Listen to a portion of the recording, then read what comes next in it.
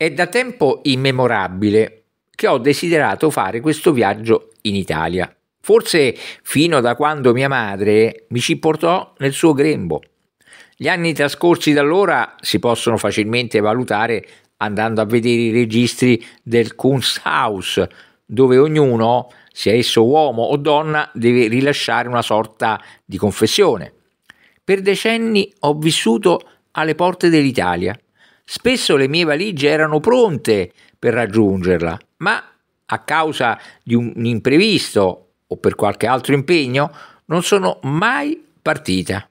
Avevo visitato molti altri luoghi del mondo, anche più lontani, ma non avevo mai raggiunto quello che sognavo di vedere. A un certo punto decisi di seguire il consiglio di Maometto. Lasciai che l'Italia venisse a me. Spesso fantasticavo su questo paese e come protagonista dei miei sogni mi valevo di Francesco, il santo e l'amico dell'uomo, degli animali e della natura. Anche questo non succedeva ieri, ma 15 anni fa, quando eseguii i miei primi schizzi di San Francesco. Il mio interesse divenne talmente costante e articolato che addirittura un bel giorno il santo si materializzò. A quel punto ebbe inizio la mia opera di persuasione di santo, il mio amico e modello. Anche lui infatti desiderava vedere l'Italia e così facemmo a gara per vedere chi lo desiderasse più intensamente. In quegli anni della mia vita non avanzavo mai niente e i soldi bastavano a malapena per andare a piedi da Ascona a Locarno. Ma poi avvenne qualcosa di inaspettato. Alcuni amici acquistarono un mio quadro e il Papa, avviando le celebrazioni per l'anno santo, abbassò il prezzo dei biglietti ferroviari quasi al costo di una corsa di tram. Finalmente l'Italia era così vicina che si poteva quasi toccare con mano. Bastava fare un passo per essere oltre il confine. Era il primo giugno, quando ho allungato la mano e teso la gamba. Ma il 15 luglio ero sempre e ancora ad Ascona.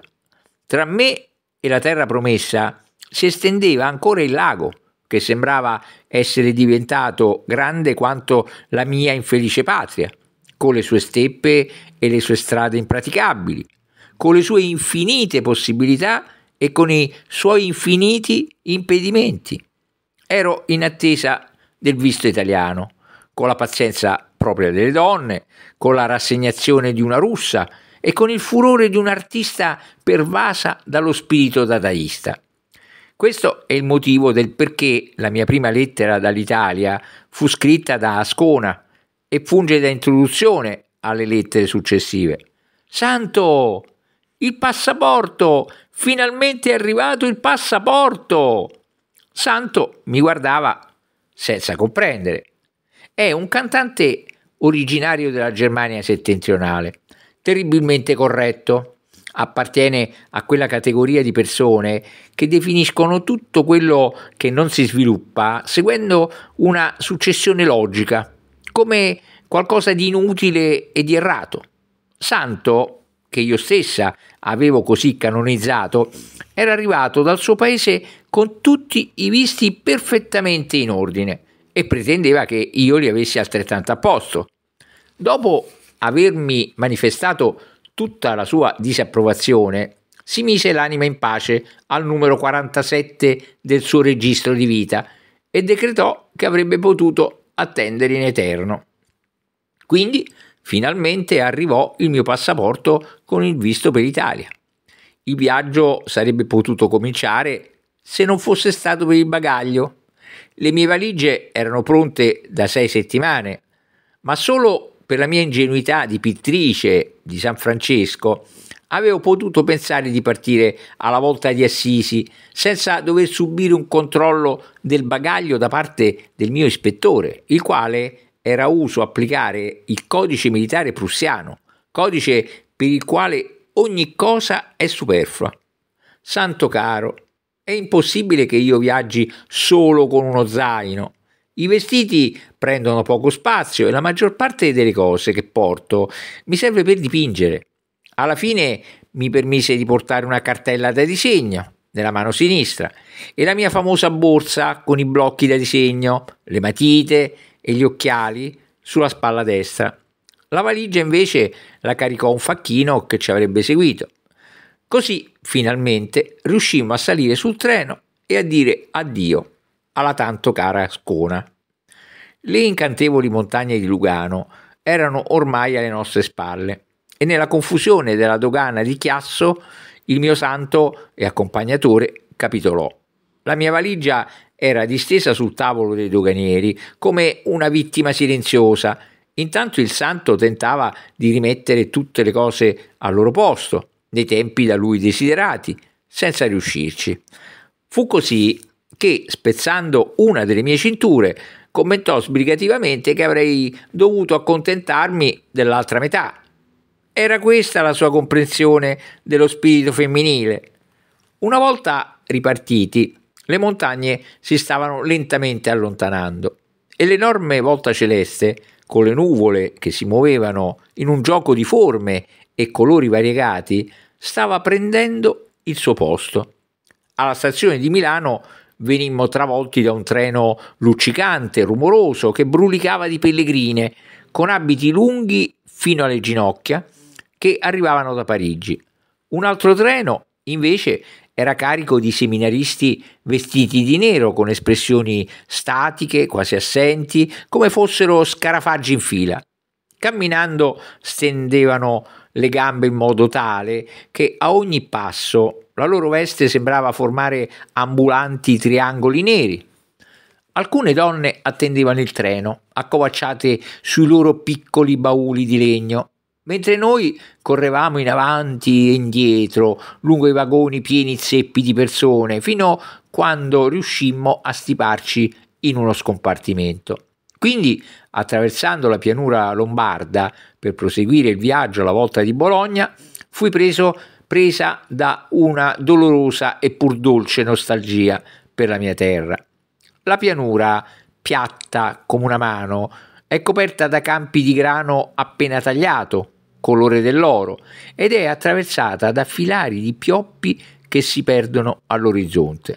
File di viti blu-verde si stringono a forma di cesto intorno ai gelsi verde scuro. Chiese panciute con esili campanili, cascinali grigi e case di campagna colorate con vecchi torrioni sono disseminati per il paesaggio come su una tavola imbandita. In lontananza si vede il bagliore color madreperla di una catena di montagne, dolce e delicato come il sogno di una nostalgia.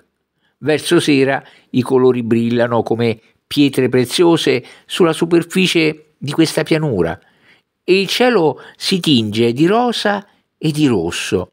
Una quiete particolare riempie il cuore.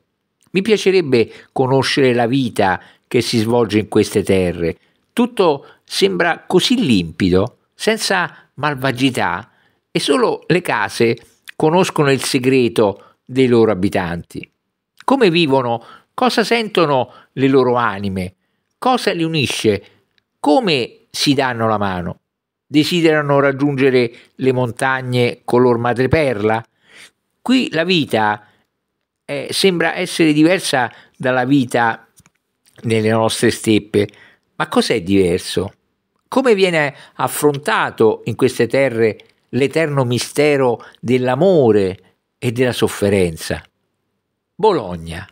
La prima impressione è quella di una città piena di movimento, di ragazze graziose, di bersaglieri, di automobili strombazzanti, di rumori indistinti, di tintinnar di vetri, di musica all'aperto, di persone che mangiano e bevono in mezzo alle strade, di negozi lussuosi e ancora di gruppi di donne particolarmente ben curate e più o meno attraenti. Tutta la vita di questa città sembra svolgersi all'ombra di una torre diritta come l'indice di Dio, rivolto verso il cielo, e sotto i portici dove si libera spirito e anima. Le volte si muovono come onde e le strade strette sembrano perdersi nell'infinito. I portici di Bologna non hanno nulla di opprimente. L'aria si respira, che si respira è pura, come in vetta alle montagne, e se solo ti sfiora l'idea di un'eventuale oppressione, questa subito svanisce grazie alla forza di risalita dell'ovale delle volte. I portici hanno quasi il ritmo del respiro. Dietro questi ci sono cortili e giardini secretati, protetti dalle arcate. L'occhio percepisce la costruzione matematica di questa architettura nella sua pura musicalità e la mente possiede la chiave per leggere la necessità organica del cubismo. Bologna, Bologna è una città cubista. Le sue linee, i suoi piani, i suoi volumi catturano l'anima e le due torri che si intersecano proiettano il principio cubista direttamente nel cielo. Durante il giorno le stradine gettano una luce dorata, talvolta rossa, sulle ombre grigio-blu dei portici e di notte il buio copre il trionfo di questi colori avvolgendo tutto nel mistero. Su travi di legno scure e sottili si appoggia un piano basso rosso, al posto delle finestre buchi neri. Davanti all'imponente portone di ferro pende una lanterna che irradia una luce giallo-rossa contro la volta dell'ingresso, dietro il quale si intravedono le foglie colore verde e accesso di qualche pianta meridionale. La luce tremolante si riflette sul lastricato della strada e sulle imposte marroni delle finestre della casa di fronte. Figure si muovono veloci lungo i muri delle case e dietro l'angolo compare una piazza piccolissima dominata da una chiesa buia e silenziosa. La piazza e la chiesa sono deserte. Le architetture esterne delle chiese di Bologna sembrano intime preghiere, mentre il loro interno non comunica quasi niente. Bologna pare avere impresso su di sé un sigillo dell'eternità che ferma e racchiude pensieri grandi, grande arte e grandi destini. Ma la vita scorre spensierata e avvolge con i suoi racemi allegri questo macigno scuro. La luce color rosa delle lampade elettriche si riflette su tulipani rossi e gialli, su un'automobile grigia e su un'enorme sfera azzurra. Una compagnia di persone, attorno a un tavolo bianco con dei bicchieri di vino rosso, chiacchiera allegramente. All'angolo si vede poi una pagoda colorata che sembra un giocattolo dimenticato da qualche bambino ai piedi dell'altissima parete della chiesa. Birra, gelati, anche i due bersaglieri sembrano dei giocattoli, due piccoli puntini sotto la torre. Nel centro della città ci si immerge in un mare di luci, nei colori del cinema, nei caffè, nelle donne, donne donne e nel sussurrare, nel vibrare di un continuo andare e venire. Dopo, mentre riposo sul letto, invoco lo spirito di Stravinsky sento la rappresentazione orchestrata della butterfly intervallata dal clacson contra- contrappuntistico di un'automobile, dallo scalpellino che dallo scampanellio disperato di un tram e dal cigolio di un ascensore in movimento. Cerco di addormentarmi e nella disperazione compongo una sinfonia cubista improntata al futurismo. Andrea potrà dirigerla il prossimo inverno. Ho una gran voglia di vedere le stelle. Sopra il tetto sotto il quale sto si alza il firmamento e la costellazione dell'Orsa Maggiore. Essa mi osserva e mi porta un saluto dalla mia amata Ascona. Il mattino seguente nel Duomo sono colpita da una visione.